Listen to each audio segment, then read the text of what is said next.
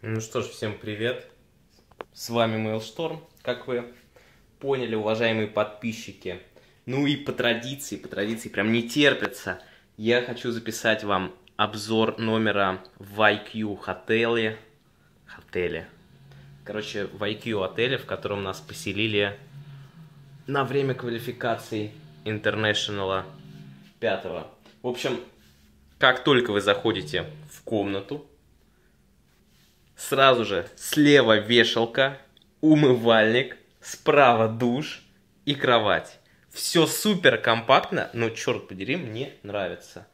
В таком немного э, японском стиле, что ли, ну, чем-то напоминает, чем-то напоминает. Э, раковина, конечно, супер маленькая, но в принципе в нее же ничего не надо там помещать есть, есть э, для всего место, хоть его не так много. Ну и самый главный момент – душ. Душ, короче, прямо в комнате отделен всего лишь навсего загородочкой, такой вот стеклянный. Но обратите внимание, в отличие от немецких душей, он закрывается шторкой. Офигенно. Я рад.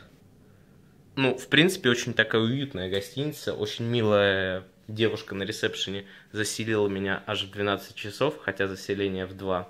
Вот, и я всем доволен. Фен Валера, кстати. Фен Валера.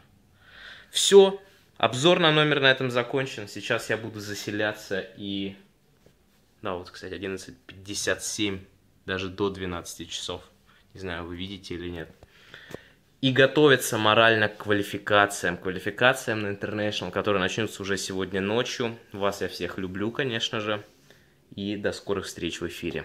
Следите за YouTube каналом, буду заливать какие-нибудь интересные видосы.